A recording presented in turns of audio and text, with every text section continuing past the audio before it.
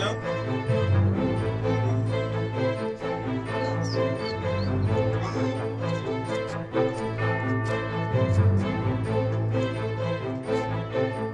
Going about it.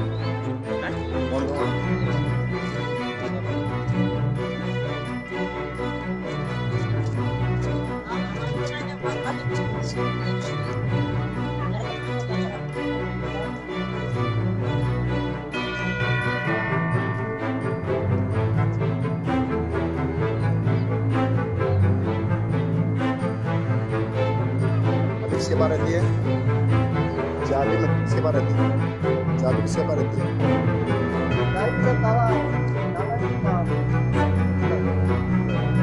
नहीं तब चाबी किसके पास रहती होगी? यहाँ डेली पड़ता है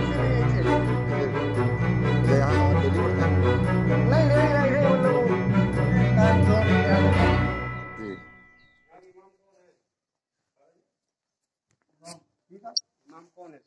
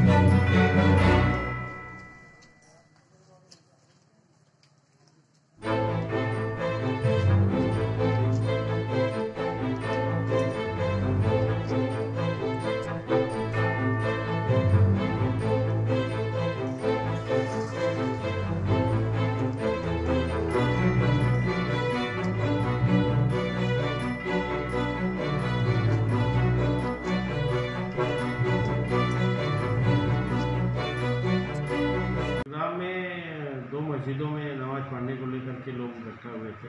उसमें सूचना मिलने पर पुलिस ने वहाँ पर पुलिस गई और एक मस्जिद में ग्यारह लोग थे उनको गिरफ़्तार किया है उनके खिलाफ मुकदमा कायम करा है। और एक मस्जिद में तीन लोगों को गिरफ़्तार किया गया। कुछ लोग उसमें थे वो भाग गए हैं वहाँ से और लोग हैं उनके नाम का भी पता लगाया जा रहा है।